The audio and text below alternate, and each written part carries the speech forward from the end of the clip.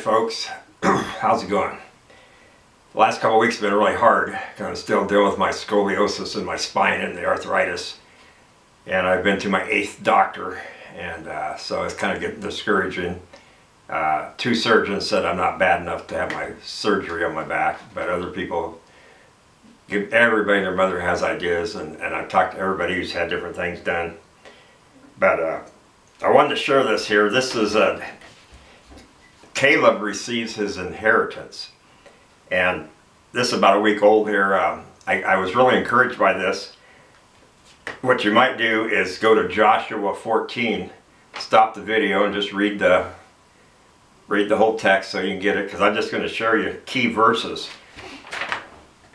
Because Joshua, a lot of times people talk about faith, our faith, and then we talk about obedience and then we talk about knowing what's right and wrong, uh, direction, goals, uh, what are we supposed to do in life, uh, you know, different things like that. And as I read Joshua 14, the chapter, Caleb had some interesting things, just little statements, but I tried to picture what was this guy's life like during this time period.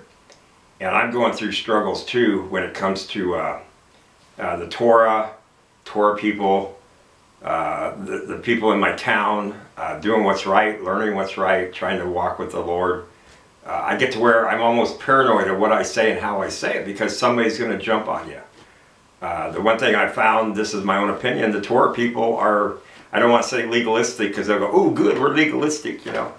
But it's no, you're, you're intolerant of other people.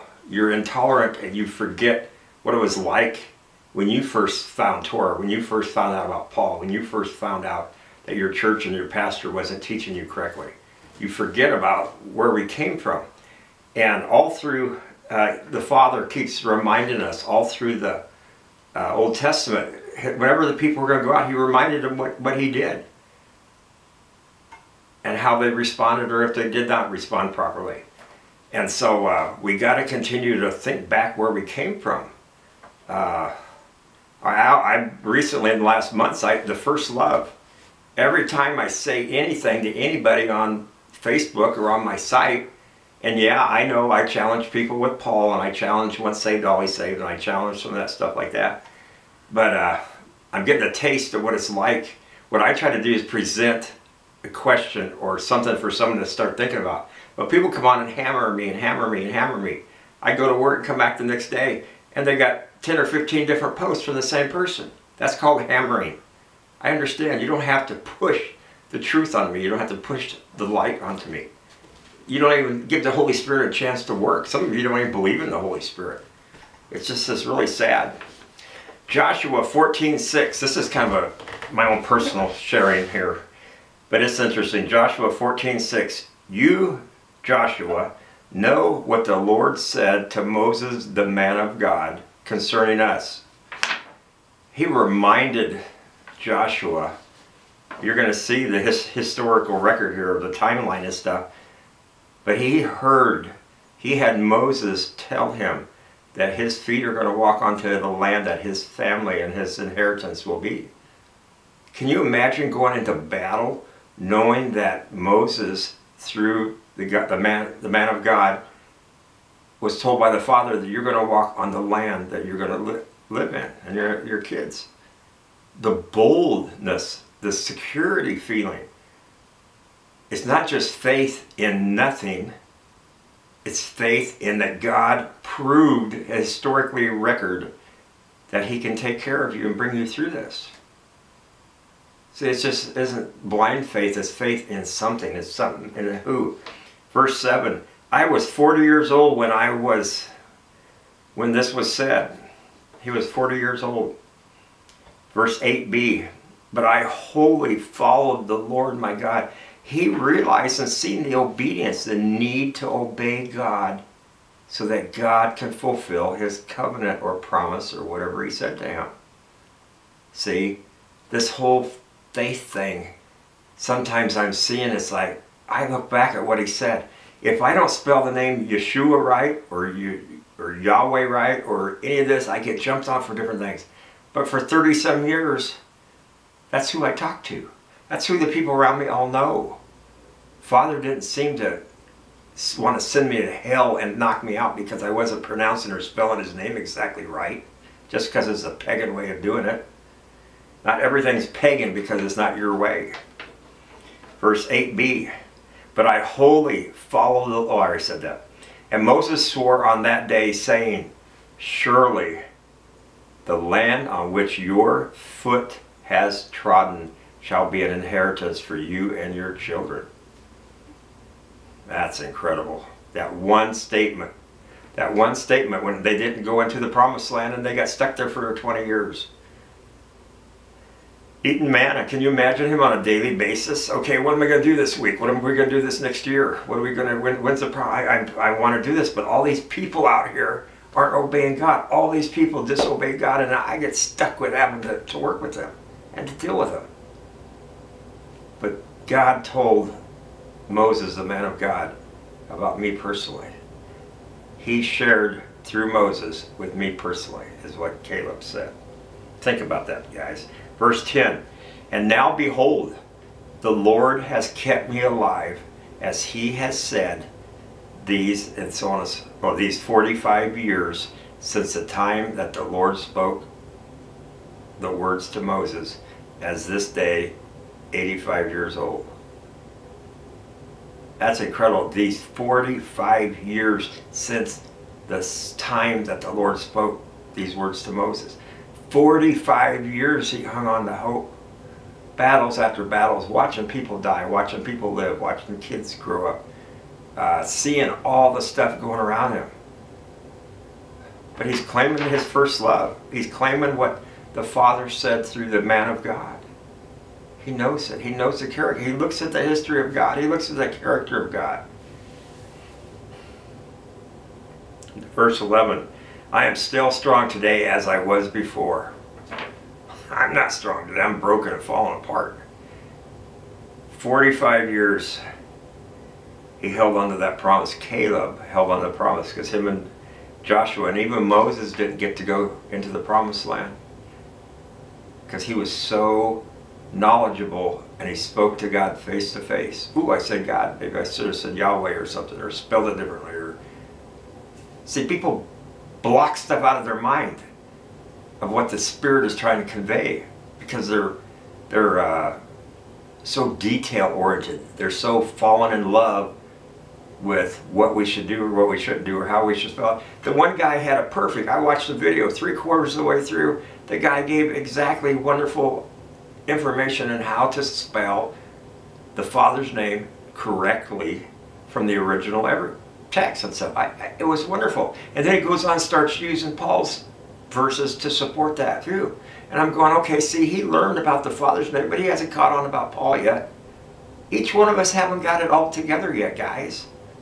How I don't even want to be around poor people. Their attitude stinks. It may be the right thing, but you sound like a Pharisee to me. I'm sorry to say that. I am still strong, I said that. So now give me this hill country of which the Lord spoke on that day. He's reminding Joseph, uh, yeah, Joshua about that. The joy in his heart, can you imagine what it's like after 45 years of all this stuff and fighting different battles and cleaning out and killing people and doing all this hand-to-hand -hand combat? and the Lord's behind you and you don't have a scratch, you don't have a dent, you're still as strong as you was. And now I'm here. I think it was Hebron is where he was, was and he said, don't worry, I'll, I'll go take, take all the people out because I know what to do because the Father's already taught me how to do it. He's with me.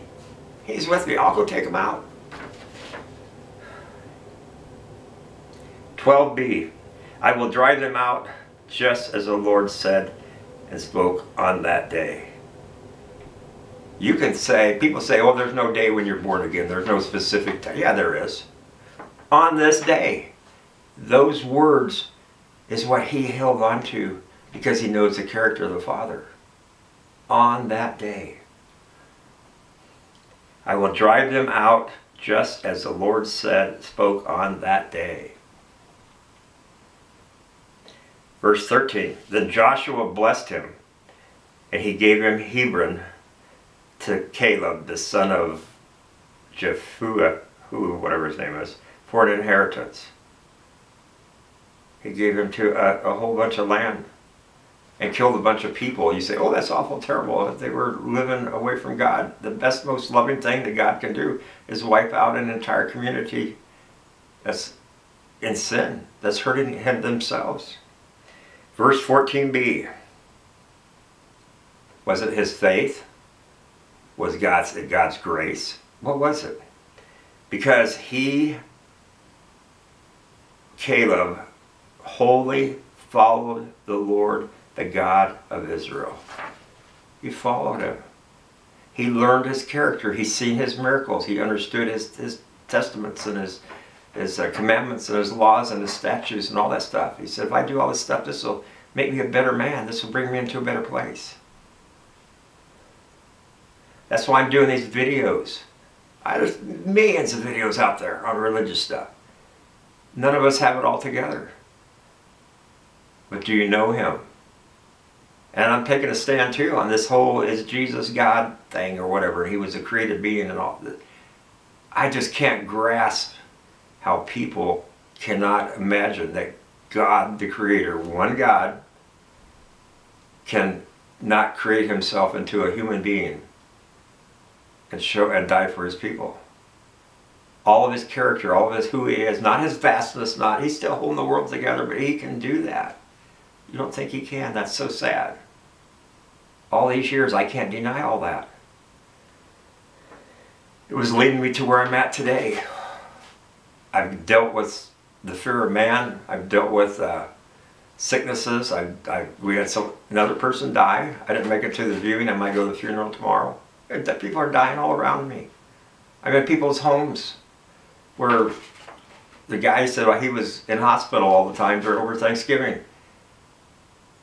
And they found out I needed a pacemaker. I'm starting to finish up the deck, and it's like I just felt like I hate the word feel, but I was overcome with okay, let's stop and pray. He goes, What? I said, I'm gonna pray for you. I'm gonna lay my hands on you and pray for you.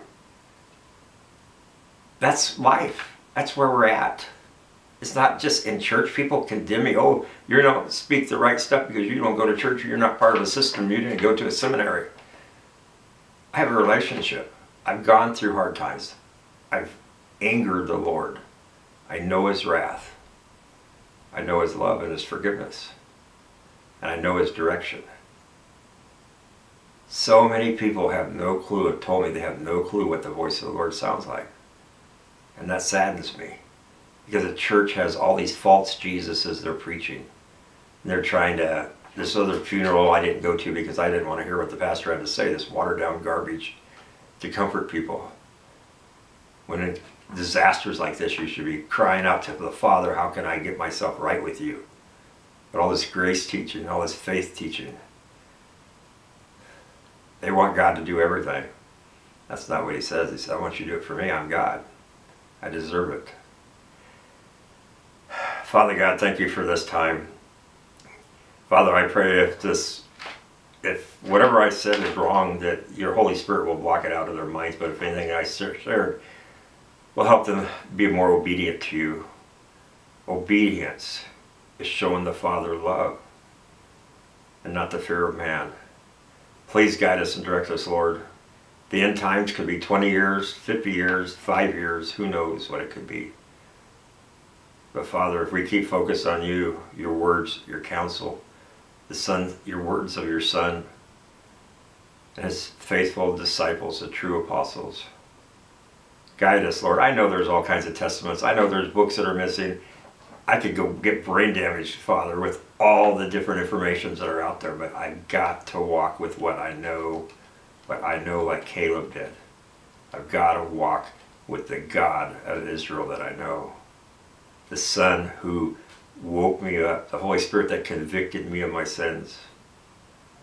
The day, that night at the table, that I got off the throne of my life and said, Father, Lord Jesus, take over you run my life, and I'll learn to obey. Thank you so much. Amen.